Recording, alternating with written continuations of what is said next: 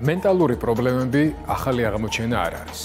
თუმცა ზოგ შემთხვევაში მის გაუარესებას ხელი კორონავირუსმა შეუწყო. ახალგაზრდები თავად მოგვიყვებიან როგორ უმკლავდებიან მენტალურ პრობლემებს. სიუჟეტის ყურებისას კი ბევრი ახალგაზრდა მოიცნობ საკუთარ თავს, თუმცა ეს საშიში არ არის და ამაზე ხმამაღლა ლაპარაკი აუცილებელია. თეკლა თარგამაძე და გიორგი მიქელაძე გვიამბობენ პანდემიის პირობებში იძულებით იზოლირებული ფსიქიკის შესახებ. anziché di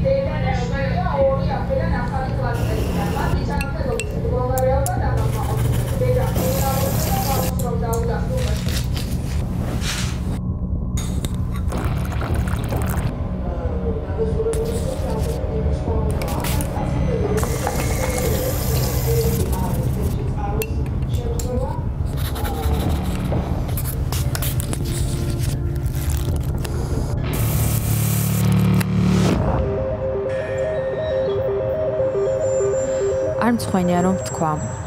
არ მახსოვს ბოლოს როდის გავიდა დღეში ფოთვებისა და ნერვული დაძაბულობის გარეშე. ანდა რა არის ამაში სამარცხვინო? ალბათ ვერც დავიჯერებ ვინმემ რომ მითხრას იზოლაციაში ერთი დღეც არ მქონია ასეთიო.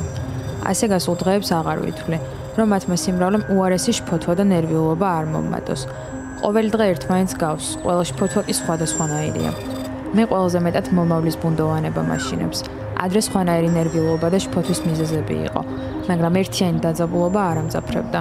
ახლა კი ესეც დაემატა. ახლა უფრო სჭირდება ჩვენს ტვინებს მიხედვა. ამიტომ მოусმინეთ და არ წაუყრუოთ. ხო, კიდევ ხანდახან თვალებს რომ დავხუჭავ და მომავლიდან კადრებს წარმოვიდგენ, გაუცნობიერებლად მაინც კითხვის ნიშანს სვამ ბოლოში. ზუსტად ეგ არის ჩემთვის შიში. შიში კი შეიძლება იყოს რაციონალურიც და ირაციონალურიც. ჩემი შიში ორივეა მგონი ერთად. ამ ცხოვრებას ძველი მირჩევნია. ალბათ თქვენც ასახართ, თუმცა ოპტიმიზმი მაინც შემოგვჭა და ვფიქრობ, კარგად იქნება ყველაფერი. როდის არ ვიცი, მაგრამ იქნება. მანამდე კი მეც მეშინია, მეც შფოთავ, მეც ნერვიულობ, მეც არ ვარ კარგად, ისევე როგორც შენ. თავარი ისაა, რომ ეს ბუნებრივია. არაბუნებრივი პირიქით იქნებოდა და მაგისი არ შეგეშინდეს.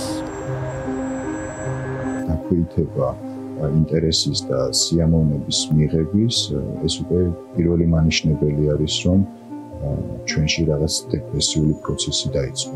მენტალური აშლილობის ერთ-ერთი ყველაზე ხშირი გამოხატულება პანიკური შეტევაა, რომლის სიმპტომებია: გულის აჩქარება, ჟანგბადის ნაკლებობა, სახეზე სიწითლე, სწრაფი აზრები, ნეგატიურ ფიქრებში გაჭედვა, ფსიქოსომატური ტკივილების ხეულის სხვადასხვა ნაწილში, შეგრძნება რომ დაგცხათ და გაოფლიანდით, ამ პირიქით შეგცევდოთ. და ასევე შეიძლება იყოს გამონაბარიც ალერგიული სხეულზე, რაც მანიშნებელი იყოს ასე ვთქვათ რაღაცა ფსიქოლოგიური დარღვევის და მენტალური პრობლემების. როცა ემოციურად კარგად არ ვართ, მაშინაც არ უნდა მოგვერიდოს ექიმის თან მისვლა, ან თუნდაც დახმარების თხოვნა. იმიტომ რომ ეს ყველა ადამიანს ემართება და ხშირ შემთხვევაში ეს ემოციური არასტაბილურობა მე ითარგმნება ხოლმე ფიზიკურ სიმპტომებში და ვისაც გვაქვს იმის შესაძლებლობა რომ ამაზე ღიად ვილაპარაკოთ, აუცილებლად უნდა ვილაპარაკოთ და არ მოვერიდოთ ამ თემას, იმიტომ რომ შეიძლება რომ ეს რაღაცა ვიღაცისთვის სირცხვილი იყოს. მე ყოველ შემთხვევაში ვიგრძენი ეს გაუარესება ჩემ თავზე და წარმომიდგენია ის ადამიანები, ვინც ფინანსური პრობლემების წინაშე დგანან, იმათზე რამხელა გავლენა იქონია ამ პანდემიამ. ვცდილობ რა რაღაცა განრიგი მქონდეს და ამ განრიგს მიყვება პატარ-პატარა მიზნებს ვისახავ ხოლმე რომ დღეს ვიზამ ამას, ამას და ამას. და მაგას მივყვები. ვცდილობ რომ აი ვითომ სამსახურში მივდივარ და მოდი გავაკეთებ ახლა საქმე. ფსიქოლოგიური პრობლემები ყველა ადამიანთან ინდივიდუალური მიზეზითა და სახით მოდის. მიზეზების პოვნა ხანდახან მარტივია, ხანდახან კი ძალიან რთული. ჩემი თავგადასავალი დაიწყო 4 მარტს, როცა მივფრინავდი თბილისიდან ჯერ პარიზში და მე რეუნიონზე, რომელიც არის პატარა კუნძული შუა ინდოეთის ოკეანეში. აი მის მერე დაიწყო ერთ ოთახში 14 დღე მარტო და ბევრი მეუბნებოდა რომ აი რა გაწუწუნებს და სასტუმროში ხარ და რა ვიცი, მაგრამ ან ძალიან უცნაური შეგრძნება იყო მარტოობის და გაუცხოვების სულის ხუთვის რაღაც მომენტი ანუ მქონდა თქოს ანუ თავისუფლად ვერ შემთხვევდი. უკეთესობისკენ იყოს ახლა სიტუაცია ჩემთვის იმის გამო რომ სახლში ვარ და არა სასტუმროს ოთახში, მაინც მაინც მაქვს ის უცნაური შეგრძნება რომ რაღაც ძალიან გრძელ სიზმარში გავიჭედე.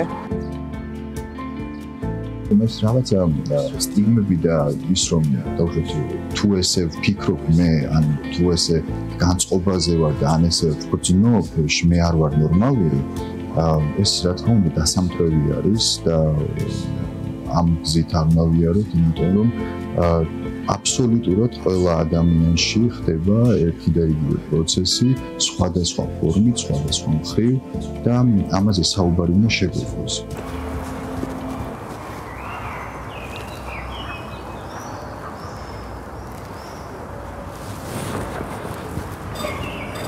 როგორც გავიგეთ, ყველა მენტალური აშლილობა, ყველა ფსიქოლოგიური პრობლემა არის ინდივიდუალური სახის. აქედან გამომდინარე, არ არსებობს ერთი უნივერსალური პრობლემის გადაჭრის გზა.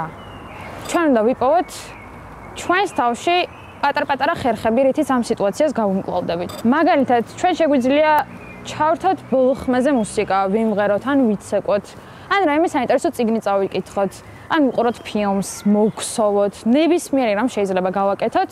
რაც უბრალოდ ცოტათი მაინც დაგვეხმარება ჩვენი ფსიქოლოგიური მდგომარეობის გაუმჯობესებაში. ახლა არის 9-ის ნახევარი, მე უნდა ვიჩქარო, წავიდე სახლში, სამწუხაროდ, რომ 9 საათი შეხვდე სახლში.